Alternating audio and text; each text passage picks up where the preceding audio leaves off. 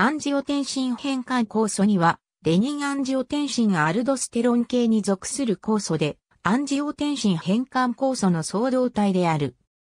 ACE には、ACE と構造が類似しているものの別物であり、ACE には、主にアンジオテンシン2からアンジオテンシンマイナスへの変換を行って、血圧上昇のレニンアンジオテンシンアルドステロン系を抑制する。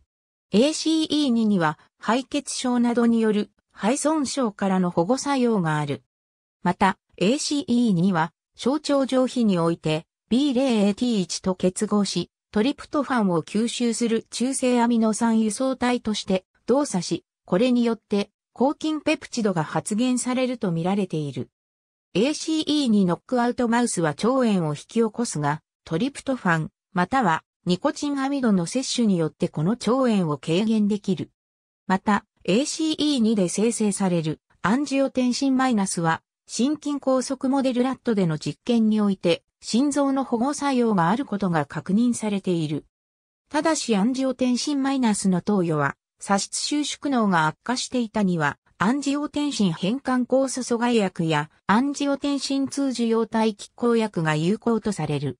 ACE には、十二指腸、小腸、胆脳、腎臓、清掃に高く発現しており、副腎、結腸、直腸、性能に低く発現している。ACE にはアンジオテンシン、変換酵素阻害薬によって抑制されない。ACE に活性化剤としては、オルメサルタンが存在する。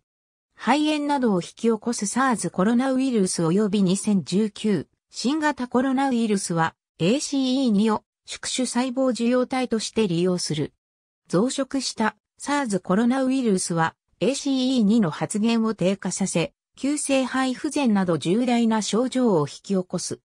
そのため SARS に対するリコンビナント ACE2 の投与がマウスにおいて研究されており、また発見された大量生産しやすいバクテリア由来 ACE2 サマ酵素も症状への効果が期待されている。